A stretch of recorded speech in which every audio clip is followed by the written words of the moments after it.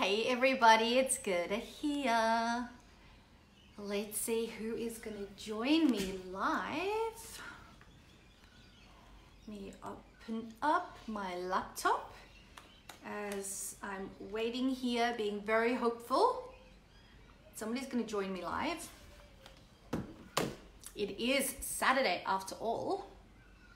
Got one person here. If you are hopping on, please say hi, say hello. Let me know who you are, especially if you are new to the group and this might be your first time live with me. Please let me know. So, a very interesting topic that I want to talk to you about today. Hello. Hi, Sam. How are you? Good to have you here. I'm so glad just I can see that I can see hello. I'm sending you and hello back on my phone. Um, it's not often that I can see comments on my phone. My phone acts up every now and then. So excited to see you here. And the topic that I wanted to talk to you guys about was actually a question that Melissa um, asked earlier in the week. So I put up a post and I said, if you can ask me anything about cash flow, forecasting, and management, what would it be? Because as you guys might know, um, I'm currently putting together, I actually recorded it this morning, my cash flow forecasting made easy training that is um, going live on Monday. So if you're not in the training and you know you have to be there, you know that cash flow is something you need to work on, you better check it out. I'll send you the link in the comments later on. But uh, I asked that question in the group because I wanted to see what is people's questions around it so that I can make sure that I answer as many questions as possible on the training, right? Because personally, I can only think of, you know, stuff that I can think of. I also think of stuff that my clients think of that's in my inner circle and that I work with privately. But I always want to hear what the community uh, has to ask and has to say as well. Hey, Tracy, so good to have you on here. So Melissa's question that she posed in our Facebook group was, Gerda, how much of the finances and the money stuff do I actually share with my team, right?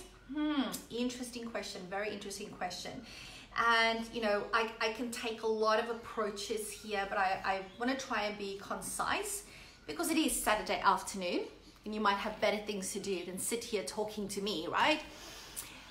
So I thought what I would share with you is a little exercise. Hey Jade, how are you? A little exercise that I have done with my team previously. I know it is a great question, Tracy, right? because it is such a difficult thing. Hey, Erin, how are you? Um, and I've been at that place where I've gone, you know what? I realized that my team actually doesn't have a clue in terms of what goes into running the practice. Not that I can expect them to have a clue, right? They are clinicians. Their job is to be psychologists and OTs and speechies. Their job is to look after clients, to you know, do clinical interventions, assessments, write reports, etc., etc. It's not their job to do budgets and cash flow forecasting and pay bills and pay wages. Um, so they actually don't know what goes on. They don't know about all the expenses and how much, right?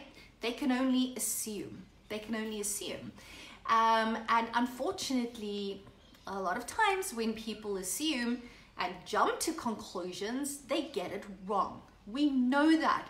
It's why CBT tells us that jumping to conclusions are one of the 10 most unhelpful thinking styles there are, right? Because you so often get it wrong. And I uh, once found myself in that situation where I just went, you know what? My team doesn't have a clue.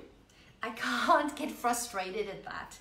Okay, I can't get frustrated, so I need to do something about it. So I put together this little exercise um, that I did with them during one of our bi monthly team um, PD days, right? Um, so what I did is, and I, and I really tried to be creative. I don't see myself as a creative person, but I tried to be creative. So what I did in terms of my preparation is I ran a list of all the expenses at the practice. So if you go into your profit and loss statement and you just run a report, your most up-to-date profit and loss report for a 12 month period, and I went through and I identified what was my biggest expenses, what was my top five expenses at the practice, right? And certain things you can really um, lump together, like overheads and stuff like that. And, and I mean, I can't remember off the top of my head even what those five things were.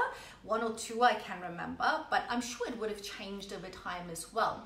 So I, I ran those numbers, I divided it into these are the five categories, and then I um, I, I looked and searched and found like just you know humorous little images to go with it.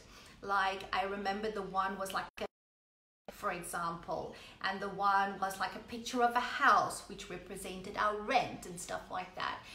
Because and I and I and I and I wanted to bring in stuff like that because money can be a pretty serious conversation, right? It's like ugh, pretty serious and uncomfortable, and I wanted to just you know bring a, a bit of creativity into it, just show that it doesn't have to be that serious, that it's okay to talk about it. We can be comfortable talking about it. It can actually be fun talking about it, that type of thing. So, and I did that. So I, then I went to the practice and I just introduced it and said, you know, I, I, um, I, I, felt that it was time to share with you guys, you know, what happens at the practice, a bit of the behind the scenes, give you a bit of a look inside, you know, the business side of what it is that we do at the practice. And then I, I, I started by saying, so as you guys know, when the clients come in and sees us, they, you know, they have their appointments, they pay at the front desk and all that money um, that they pay into you know, at the front desk goes into the practice bank account. Now that might be your piggy bank, for example. So this is our little piggy bank here at the top, and I put that on the whiteboard with some Blu Tack. So, so all that money goes into our piggy bank. And then, so, so that represents 100% of the income coming into the practice. And then what we need to do is we now need to use that money to run the practice. So I went, so the biggest expense for the practice is of course you guys. Well, actually, change that. I actually did something else first, but that's how I explained it at the end. So I said, that's where I stopped. And I said, so, you know, all the money goes in there. And then I said, okay. And I gave them each a clipboard, uh, pen and paper. And I said, all right, so I want you to think, if that is 100% of the money coming into the practice, what do you think is our top five expenses? So I want you to draw one, two, three, four, five, and I want you to tell me what percentage of the money goes to each of those expenses. Okay? So I let them sit, I gave them five minutes to do that, and then I asked for feedback. So it was a bit of an experiential process, right? So, um, and then what I did is I just made, I wrote it down, like uh, what people said, maybe two people said rent, most people said rent, right? What percentage they thought it was, etc., etc. So we put that on, on butcher's papers, I think, at the time. Um, and then I went, okay, so let's see how that compares to what actually happens. And I told them where I got the information from. I told them that I ran this report in our profit and loss. So this is very up-to-date numbers uh, that we are looking at. And then I, I, had all my stuff ready. I said, okay, so this is our piggy bank. Um, all the money comes into the practice. That's the 100%. So our biggest expense at, at my practice is, um, you know, minimum 50% of all that money goes to you guys who's a wonderful team that looks after our clients because obviously we've got got contractors right? Now if you have a um, employees that will be your salaries and wages. And you can even include in their salaries wages the super the tax that you pay on that um, you know, um, the leave accrual, all of that stuff. What is the other thing? Oh, leave loading uh, as part of our award. All of that money is part of that category, right, of paying your team. And it is the largest part, and it has always been the largest part for us because if you think about it, um, we pay our subcontractors 50%. Some people are on a higher percentage Uh, but you know, everybody starts at 50. So at least half the money goes to them. All right. And it was like, yeah, you know, they know that. And then, which means that we only have another, the other 50% left to pay all the other things, right? Uh, um, so, so that's a lot of money. That's a lot of percentage left. And then we went through, okay, so rent, rent is another, let's say, and I'm making these percentages up now. I can't remember, it's been too long ago. Rent is 20%. I remember at that time printing and stationery was so expensive for us. That was like 10% and this is this and this. So we really showed them, you know, of that money coming in, where's our money going to? And no, it doesn't go to line my pockets. It doesn't go towards lining the pockets of the practice owner the expenses are huge. It is huge. So um, I would actually encourage you to do that exercise for yourself and really see where most of your money is going to. What is your biggest expenses? And does your team actually realize how expensive rent is? Um, at my practice, I actually think our rent is not that expensive, um, but I have heard of practice owners that pay like $6,000 rent a month. It's like, oh, kill me now. Geez, that's so much money, right? Times 12. 12 times 6. No, I should not embarrass myself with my maths here. I won't even try. But that's what calculators are for, right? So that you don't make mistakes. But that's the whole point um, your team doesn't know, they're guessing.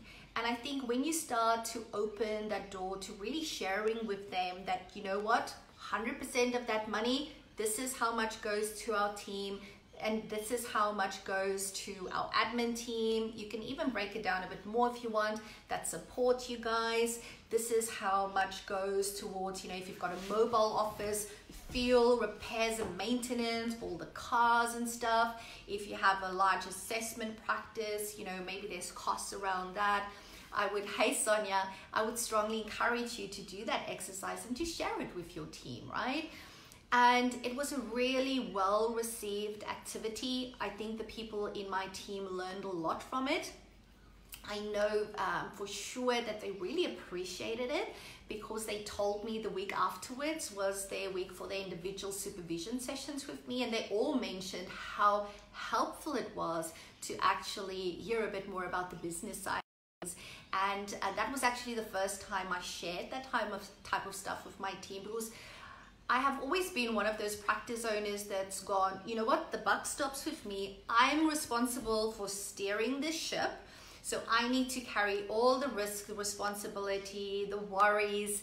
I was always scared that if I shared too much with the team, what if they jump ship, right? Go, oh my goodness, this is not good. Judge me for something, and therefore I carry that stuff just by myself and and that's really hard work to do right um, and i thought i was doing the team a favor by not sharing this stuff with them saying share your profit and loss statements, don't share it. Don't share those things with them.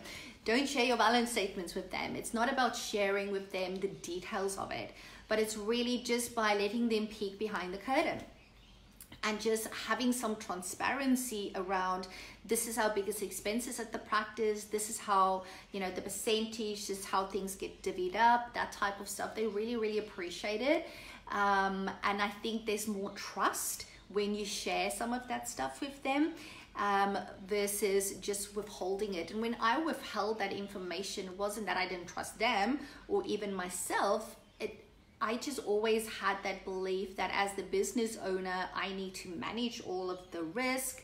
That is my worries. It's like that's my worries. I have to own those worries. I have to own that pain. And it's like, you know what? It actually helps when you share it with them because then um, they have more of a clue. Uh, and they're not so quick to judge, they're more understanding. And as a result of doing that exercise the first time, we now have a standing item on our um, team meeting agenda. Um, a view into the business or window into the business. I think we updated that too. We we always give them some uh, piece of information about what's happening uh, more on the back end of the business, really trusting them with that information, sharing it with them, being transparent. And it has really had a big impact on our practice culture. It's also just opened up the money discussion. It allows us to have money discussions more comfortably and you, you know it's it's just been really really good. So it's it's balance not too much but not nothing at all. And as I said, if you can be, bring a bit of humor into it and just make it a bit fun, making it a bit experiential, like I got them to, you know, come up with what they think and share, really getting them to talk about money. Because I didn't want it to be me doing a presentation of, okay, um, where's my glasses? So I looks clever doing a presentation about the money at the practice. I didn't want it to be that. I wanted money discussions to be easy so that we can be comfortable about it, which is so, so important, particularly for our industry because it doesn't, that comfort doesn't come, come comfortably for the majority of us, right? Yeah. All right, so that is what I wanted to share. I hope that has been helpful. Um, I know there's quite a lot of you already in the cash flow forecasting made easy program. If you're not in it as yet and if you're interested, I'll pop up the link to the training. I recorded it this morning. It is full on. It is so full on. And um, I did an, a general introduction and then I did, I called it the anatomy of a cash flow forecast. And I talked um, in the training through the outline how it works. And then I talk through the three steps and the three things, um, three ways and time frames of doing your cash flow forecast because you don't just do it once. It's not a set and forget activity. And of course, you'll get a template as well as an example, and there will be a follow-up Q&A. So I'd love for you to join us in the cash flow forecasting made easy training. Hey Michelle, how are you? Um, so I'll share that with you guys, but I'm gonna go. Uh, it is Saturday afternoon. What's the time? It's 2.35 here where I am and I'm gonna take my boys to the beach now. So have a fabulous day and remember, as always, all you need to do is say yes to your very own ultimate level five private practice. Bye for now.